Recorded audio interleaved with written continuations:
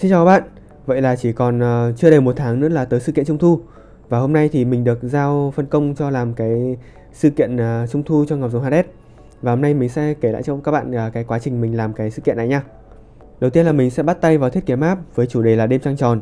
Thì mình có tham khảo những cái nguồn ở trên mạng và chúng ta sẽ cùng phân tích một chút nhé uh, Cơ bản thì mình sẽ có mặt trăng này, bầu trời sao này, núi gần, núi xa, cây cối và hồ nước với tông màu chủ đạo sẽ là màu ờ, xanh dương và màu tím.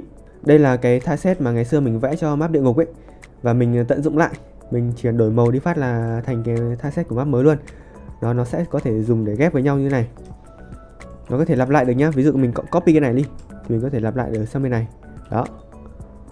Copy tiếp.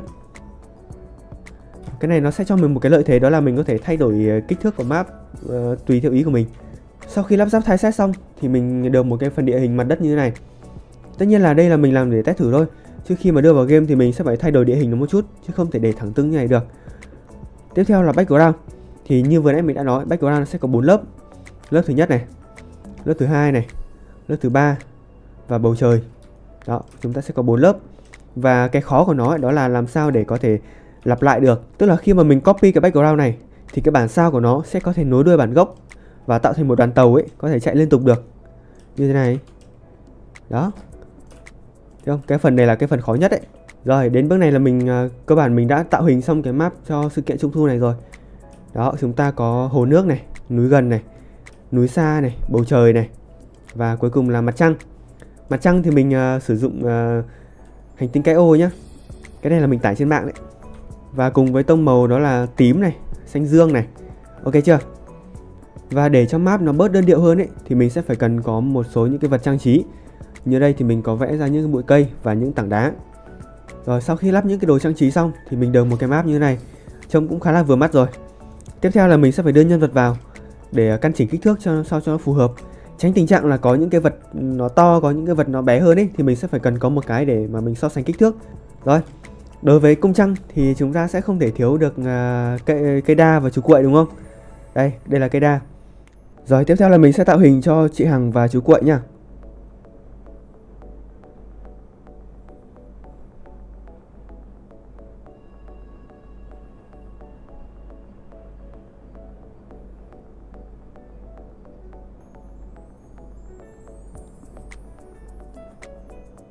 Chú Quậy này thì cho ngồi gốc cây đa Còn ờ, chị Hằng thì ờ, cho ở bên cạnh này Tiếp theo là mình sẽ tạo hình cho cái map này một con quái. Có map rồi thì cũng phải có quái chứ đúng không? Mình lấy tạo hình từ một con thỏ. Là con thỏ mặt trăng đấy các bạn ạ. Con thỏ mặt trăng này là mình lấy cảm hứng tạo hình từ cái con gì ở trong Doraemon mình chả nhớ nữa. Nhưng mà ngày xưa mình xem trong Doraemon thì mình à, nhớ mang máng là có cái con giống như kiểu này. Đó, và nó sẽ là con quái chủ đạo của map này nhá. Cứ bảo gì thì bảo mà vào một cái map không có quái để cho anh em đánh đấm thì nó cũng chán đúng không? Sau đó là mình tạo animation cho con thỏ mặt trăng để nó có thể di chuyển như một con quái bình thường, bao gồm là di chuyển này ờ, tấn công bình thường này, tấn công trưởng này, rồi chết này, vân vân. Rồi, có map mới thì cũng sẽ phải có boss mới chứ, đúng không? Mình thì cũng chẳng nghĩ ra con boss nào hợp lý hơn ngoài con thỏ đại ca này cả. Và thỏ đại ca thì trong game có sẵn rồi, nên là mình cứ lấy mình dùng thôi uh, để cho nó đỡ nhàm chán hơn ấy thì mình ờ, sẽ làm thêm một cái sự kiện đó là giải cứu thỏ Bulma tức là thằng thỏ đại ca này này nó sẽ nhốt thỏ Bulma vào trong củ cà rốt. Và sau khi anh em đánh bại thỏ đại ca thì anh em sẽ phá củ cà rốt này để cứu thỏ Bulma ra. Và sẽ sau khi cứu thỏ Bulma xong thì mình sẽ nhận được một cái phần thưởng gì đó. Và trong sự kiện này thì mình làm thêm một cái vật phẩm đeo lưng đó là củ cà rốt. Sau đó là mình làm animation cho củ cà rốt. Ờ, một cái hiệu ứng lấp lánh nó như thế này. Tiếp theo là mình sẽ phải chọn một con uh, linh vật để đưa vào trong game. Mình uh, phân vân giữa con rồng và con kỳ lân sư. Con rồng thì ý tưởng ban đầu của mình đó là cho anh em thu thập ngọc rồng và triệu hồi con rồng đấy lên gọi điều ước. Còn kỳ lân sư thì ý tưởng của mình đó là một con linh thú và các bạn nở từ trong quả trứng đó ra. Uh, làm một quả trứng mới tên là trứng kỳ lân ấy. Và nở từ quả trứng đấy ra thì các bạn sẽ được một con uh, kỳ lân sư như này. Và sau khi thảo luận về admin của Ngọc Rồng Hades thì mình quyết định là chọn con kỳ lân sư. Và đây là tạo hình con kỳ lân sư. Chúng ta sẽ có một cái đầu rất là to như này. Và con kỳ lân sư sẽ cưỡi mây nhá. Vì linh thú là nó sẽ phải bay mà con kỳ lân sư muốn bay thì phải có cưỡi mây lên nó mới bay được và chúng ta sẽ có những cái động tác như là chớp mắt này rồi nhún lên nhún xuống thế thôi khá là đơn giản Và đây là tạo hình của con kỳ lân sư sau khi mình vẽ xong. Về cơ bản thì nó sẽ có 8 frame nên là nhìn chuyển động của nó sẽ khá là mượt. Tuy nhiên thì nó sẽ chỉ có những động tác nhún nhún bình thường này thôi, nó sẽ bay theo mình và nó không tấn công các thứ đâu. Đây, thêm nó vào đây. Đó, nó sẽ bay theo nhân vật nhé các bạn nhé. Ok chưa? Tiếp theo là một sự kiện dành cho anh em nông dân cày quốc, đó là trồng cà rốt. Nó cũng giống như kiểu các bạn trồng dưa hấu ở trong sự kiện dỗ tổ ấy, thì ở đây chúng ta sẽ trồng cà rốt. À, chúng ta sẽ có cây cà rốt như thế này. Đây là ô đất uh, chưa trồng cây này. Đây là cây mới trồng và đây là cây đã thu hoạch được rồi. Nó cũng giống như kiểu cây dưa hấu đấy các bạn. Mà tất nhiên là các bạn sẽ không mang đất lên ờ, cung trăng để trồng mà các bạn sẽ trồng ở nhà như thế này. Đó. Nó cũng giống kiểu các bạn trồng dưa hấu đây. Rồi, sau khi thiết kế map xong thì mình sẽ bắt đầu logic mọi thứ lại với nhau. Đầu tiên là về phần của thỏ mặt trăng. Đây nó sẽ là một con quái và nó sẽ có tỷ lệ rơi ra hạt cà rốt. Các bạn sẽ sử dụng hạt cà rốt này để trồng cây ở nhà. À, sau khi đến thời gian thu hoạch các bạn sẽ thu hoạch và nhận được một củ cà rốt ở đây. Rồi sau đó các bạn sẽ dùng củ cà rốt này để đổi với NPC chú quậy. Chú quậy sẽ có một vài option cho các bạn lựa chọn. Đầu tiên là đổi cà rốt lấy thỏi vàng này, đổi lấy hộp quà nhỏ hoặc hộp quà lớn này và đặc biệt là cà rốt đeo lưng. Cà rốt đeo lưng nó chính là cái này này các bạn này. Đó. Rồi tiếp theo là về phần của thỏ đại ca. Thỏ đại ca nó sẽ là boss của cái map này nhá. Nó sẽ rơi ra một vài những cái item như là ngọc giống 2 sao, ngọc giống 3 sao, hồn linh thú, ờ, đá ngũ sắc và đặc biệt là quả trứng kỳ lân đây. Trứng kỳ lân này là vật phẩm đặc biệt chỉ có ở trong uh, sự kiện trung thu nhé.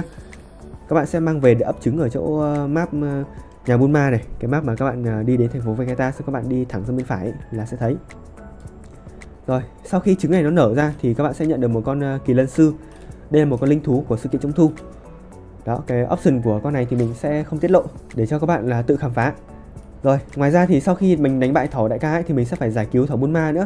Thỏ buôn ma sẽ bị thỏ đại ca nhốt ở trong củ cà rốt này. Và nhiệm vụ của các bạn đó là phá củ cà rốt này ra bằng cách là đấm củ cà rốt đấy. Đó, sau khi các bạn ờ, giải cứu thỏ buôn ma thành công ấy thì các bạn sẽ nhận được một vài những item như là cải trang thỏ buôn ma limited này, à, bí kíp tuyệt kỹ này và đồng xu Hades. Cải trang thỏ buôn ma limited là bởi vì nó sẽ random từ 5 sao đến 8 sao. Cuối cùng là về phần của NPC hàng Nga thì hàng Nga nó sẽ chỉ bán một vài những cái bánh trung thu này thôi bánh trung thu một trứng này hai trứng này đặc biệt và hộp bánh trung thu để cho các bạn ăn vào rồi à, tăng sức đánh rồi tăng HP các thứ thôi và bây giờ thì mình sẽ vào game để mình demo cái map này cho bạn xem là khi đưa vào game thì map này nó trông như thế nào nha rồi, ok, thì sau khi đưa lên ờ, local test thì nó trông như thế này. Các bạn thấy nó thế nào? Chúng ta có vài con quái thỏ mặt trăng. Đánh con quái thì sẽ rơi ra hạt cà rốt. Đó kia. Kìa mang về trồng thôi. Kia là NPC chị Hằng và chú Quậy. Tất nhiên thì nó vẫn ờ, chưa có gì cả. Mình chưa thêm option vào. Đó. Bên dưới này thì cũng có vài con. Đây, để mình tìm bot mình đấm cho các bạn xem. Thỏ đại ca này các bạn. 2 tỷ 5 máu nhá.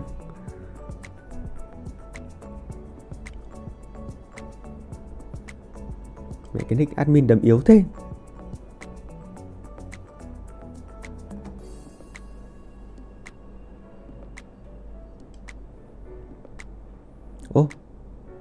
Đồ đâu ấy? À đây đây Nó bên trên các bạn. Đó, Nó sẽ rơi ra hồn linh thú rồi ờ, đá ngũ sắc rồi trứng kỳ lân ờ, ngọc rồng hai sao ba sao các thứ.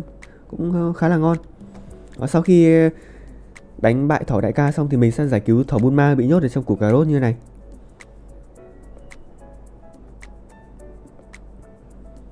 Đó, giải cứu thỏ bun ma xong thì mình sẽ nhận được một cái cải trang. Nó sẽ random từ 5 sao đến 8 sao nhé đây được cái năm sao đây nhưng mà sao nhìn nó hơi lùn nhỉ? Rồi thôi kệ. Đó, các bạn có thể để ý con uh, kỳ lân sư uh, bay theo mình đấy. Đấy chưa là con con kỳ lân mà sau khi các bạn nở từ quả trứng kỳ lân uh, đánh thỏ đại ca ra ấy. Đây rồi mình sẽ về nhà để mình uh, trồng cà rốt cho các bạn xem nhé nếu mà ở bên uh, cái map sân tập thì nó sẽ có những ô đất cho các bạn trồng cà rốt. Các bạn uh, thu thập hạt cà rốt xong mang qua bên này trồng là được. Nó sẽ thu hoạch trong vòng 24 giờ nhé và các bạn muốn rút ngắn thời gian thì có thể sử dụng phân bón. Nó sẽ tiết kiệm thời gian cho các bạn hơn. Mà do là cái ờ, ô đất nó bị khác style với game ấy nên là uh, nhìn như cục cất ấy.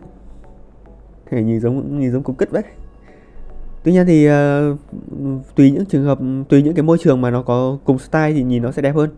Còn uh, do là cái ô đất nó bị khác style với ngọc rồng nên là nhìn nó như cục cất vậy. Đó thu hoạch thì chúng ta sẽ nhận được một củ cà rốt rồi mang cà rốt này thì đi đổi với chú cuội thì sẽ nhận được những cái vật phẩm uh, ngon.